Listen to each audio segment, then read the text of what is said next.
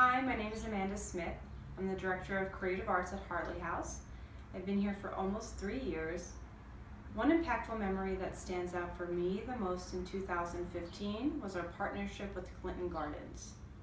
The residents were primarily Chinese speaking, and it showed how art is a universal language. We were able to communicate with each other through the use of creative expression. This is why I love Hartley House.